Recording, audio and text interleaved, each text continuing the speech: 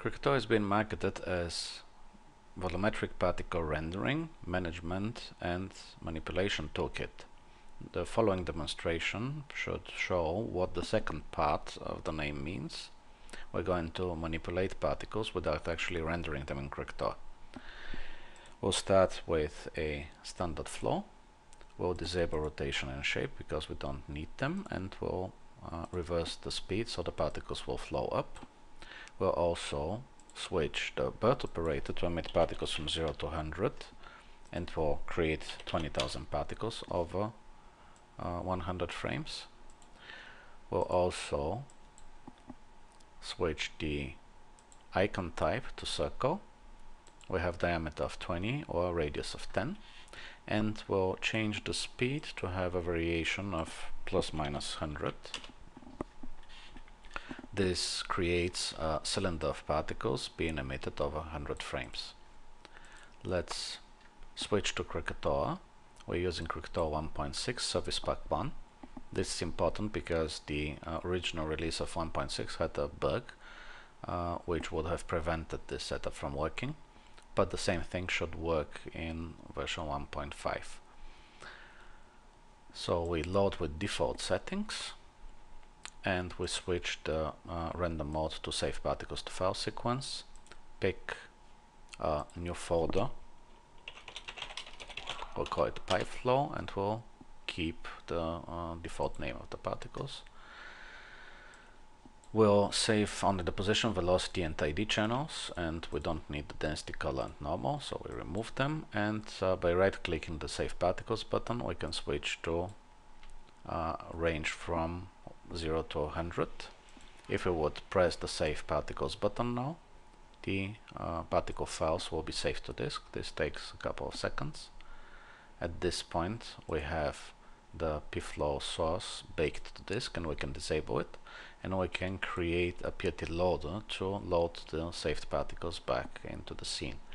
By holding shift we'll create the PRT loader at the origin so there will be no offset from the original position and we can pick any of the frames of the sequence because once they are loaded uh, the frame number will be replaced automatically by the current time. By default the PRT load is loading 1% of the particles in the viewport so we'll switch to 100% in order to see all 20,000 on the last frame and we can also display the particles as lines in order to see the velocities. So now we have the original pflow replicated through a PRT loader in the scene. And in the next step we'll try to get these particles to flow through a pipe. To do this, in the front viewport we'll create a line with snap on which will represent the pipe. And we'll also create a donut which will represent the uh, cross section of the pipe.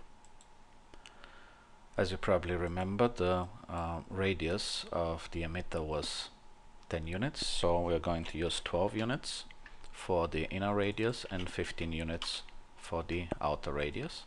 Then we'll create a compound geometry object loft and pick the cross section. In the modify panel, we'll change the number of path segments in order to get the uh, pipe um, a little bit smoother. And now if we would look in perspective and shaded view we have a pipe with a complex shape and we want our particles to flow through it in order to do this we'll take the PRT loader apply a path deform modifier to it pick the path that is being used uh, as the path of the loft and we'll hit the move to path button which will place the particles inside the pipe. If we switch to wireframe mode and start playing back, we'll see the particles flowing to the pipe and then exiting and continuing in the same direction because once they leave the path deform, they uh, continue in the last known direction. But we don't want these particles to be rendered in Krakatoa. We want to render them in uh, geometry renderer like Scanline, mental ray, V-Ray, and so on. In order to do this, we'll open a particle view again and create a new empty flow. we'll create a Krakatoa PRT birth operator and a Krakatoa PRT update operator and we'll pick the PRT loader in both of them. We get a message that says that the PRT loader should be disabled for rendering, so we say yes, and if we take a look at the object properties, uh, we'll see that the renderer property is now unchecked. This is to ensure that the pflow will be rendered and not the PRT loader. And in the PRT update, we also pick the same object and uh, we check position, ID and velocity to be loaded. We connect the two events together and uh, we get one particle created for each particle of the PRT loader. That means we replicated back the uh, deformed PRT loader flowing through the pipe as a particle flow. At this point we can disable the viewport display of our uh, loader, but since the pflow is reading the render settings of the uh, PRT loader, the particles still being created correctly. We can switch the display to lines and we see that the velocities are preserved and they are also bent correctly to flow through the pipe. We can move the display operator to the global event of the pflow and we'll try now to release the particles when they leave the pipe and let them uh, fall down based on uh, force. We'll create a gravity, we'll create also a deflector, a standard deflector, and in the front view we'll align the deflector to the uh, opening of the pipe where the particles are exiting and we'll use it to detect whenever the particles are leaving the pipe. In order to do this we'll use a collision operator. We'll pick the deflector and switch to continue. That means that the velocities won't be affected, only the collision will be detected. And when that happens, we'll send the particles out to a new event with the gravity force in it.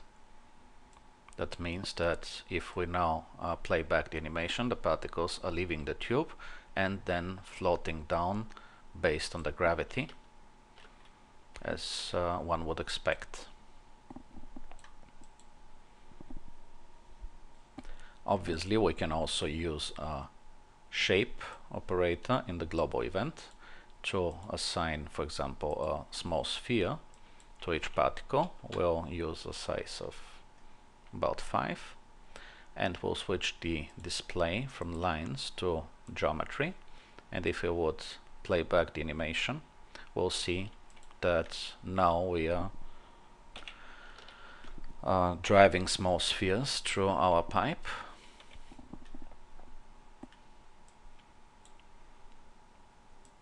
Instead of rendering these spheres, we could create a compound object blob mesh and pick the uh, particle flow that we created, the pf source 02 as the source Um, since uh, the blob mesh is relatively slow, we have to enable some optimizations. We have a lot of particles that are close together, so we'll click large data optimization. And uh, if we would move the time slider, we'll see that uh, blob mesh is now combining the particles into a single blob. At this point, we could disable the uh, geometry display of uh, the particles and switch it back to dots for example in order to get only the uh, blob mesh to uh, to appear. And of course we can play with the settings with the tension with the size coarseness and so on in order to uh, produce exactly the uh, fluid look that we want. At this point this mesh could be rendered in any geometry renderer outside of Krakatoa but we're using Krakatoa to deform our particles to a path and to drive particles that were initially created with a particle flow uh, using a path deform uh, space warp and then we create a new uh, particle flow which uh, uh, reproduces the same motion and also applies uh, freely forces after the particles have been bent along the path.